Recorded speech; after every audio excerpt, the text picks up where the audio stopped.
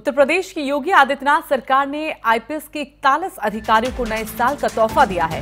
Promotion पाने वाले अधिकारियों में भारतीय पुलिस सेवा के नौ अधिकारी, अपर पुलिस महानिदेशक स्तर के हैं, जिन्हें पुलिस महानिदेशक के पद पर प्रमोट किया गया है।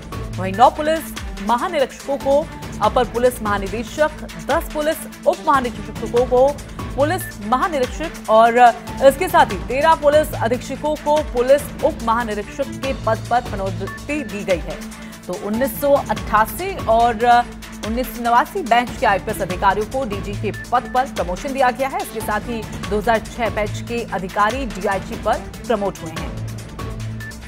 तो लगातार अपने अधिकारियों का हौसला अफजाई यहाँ पर करती हुई योगी सरकार दिखती है और ऐसे में नए साल का मौका है तो नए साल पर अपने अधिकारियों को तोहफा यहाँ पर। योगी सरकार का जहाँ पर इकतालीस अधिकारी जिनको प्रमोशन दिया गया है तो डीआईजी पर प्रमोट हुए 2006 बैच के अधिकारी हैं इकतालीस आईपीएस अधिकारी जिनको ये तोहफा नए साल के मौके पर योगी सरकार की तरफ़ से प्रमोशन का तोहफा ये यहाँ पर दिया गया है।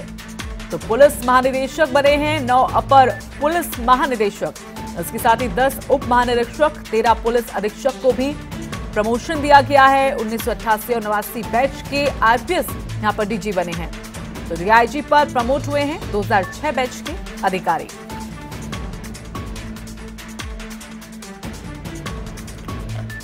तो कानून व्यवस्था को बेहतर करना और अपने अधिकारियों का हौसला अफजाई करना, यहाँ पर देखा गया है और एक बार फिर से नए साल के मौके पर तोहफा यहाँ पर अधिकारियों का, योगी सरकार को।